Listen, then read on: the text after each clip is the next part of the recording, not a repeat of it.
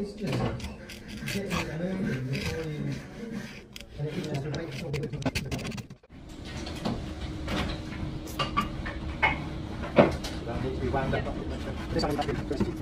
to.